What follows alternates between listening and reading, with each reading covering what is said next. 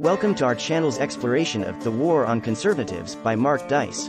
In this book, Dice articulates a perspective that has sparked significant debate in contemporary political discourse.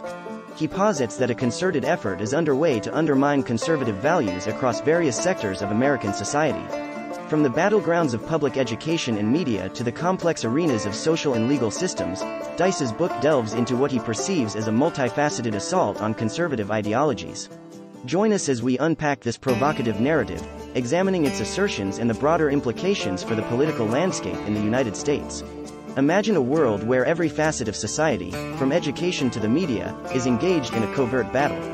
This is the scenario Mark Dice paints in The War on Conservatives, where he argues that an unseen war is being waged against conservative principles. Dice suggests that this struggle spans across public institutions, cultural norms, and even within the halls of power, painting a picture of a society in turmoil. As we delve into this book, we'll explore Dice's perspective on how these battles are shaping the very fabric of American political and social life. In The War on Conservatives, Mark Dice presents a narrative of a society where conservative voices and values are under siege. He describes a scenario where a well-funded, highly organized Marxist movement is orchestrating a multifaceted attack on various fronts.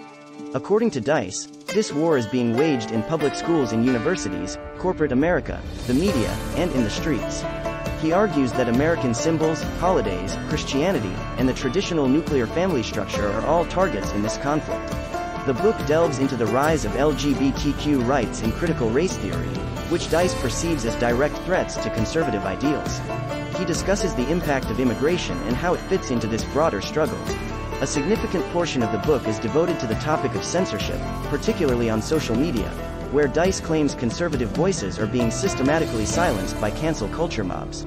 He also describes violence endorsed by Democrats against conservatives, utilizing groups like Antifa and Black Lives Matter as foot soldiers, according to his view. Furthermore, Dice touches on internal conflicts within the conservative movement, highlighting the existence of what he refers to as traitors, or RINOs, Republicans in name only, who have compromised conservative principles for profit and power. His writing aims to take the reader to the front lines of what he terms the war on conservatives, offering a perspective that is unapologetically conservative and unafraid to address what he sees as uncomfortable truths of modern society. Pros.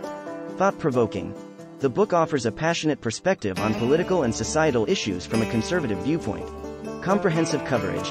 DICE attempts to cover a wide range of topics, providing a broad perspective on the challenges conservatives face. Cons. Subjective views. The book's perspective is highly subjective and may not resonate with all readers, particularly those with differing political views. Limited critical reviews. There's a lack of detailed critical analysis available, making it difficult to gauge the book's reception across a wider audience. In conclusion, The War on Conservatives by Mark Dice is a book that stirs deep reflection and discussion, particularly among those engaged in or observing the current political climate. While Dice's narrative resonates strongly with those who align with his views, it may be met with skepticism by others.